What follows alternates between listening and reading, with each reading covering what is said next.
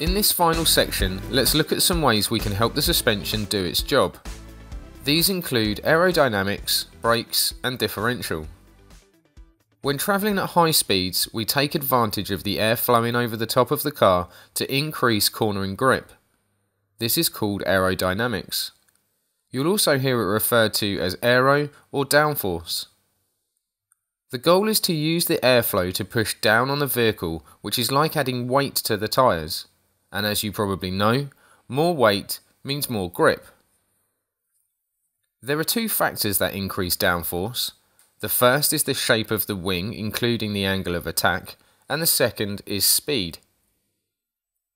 Increasing wing angle is the primary way we increase downforce. This does, however, increase the aerodynamic drag of the vehicle and reduce the top speed.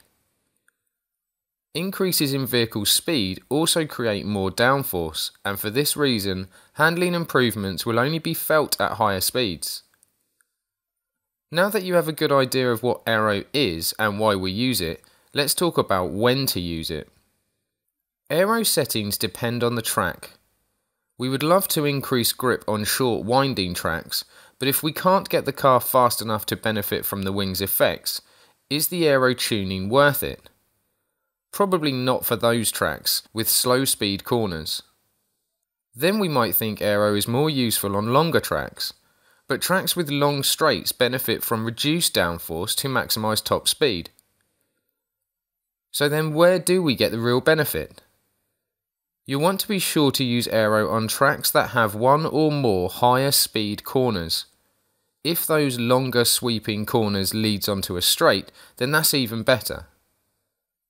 Using aero on those higher speed corners will let you build up exit speed much better than a car with less aero. One last thing to keep in mind, you want to follow the same ideas we talked about in the last section, tune front and rear to create balance in the turn.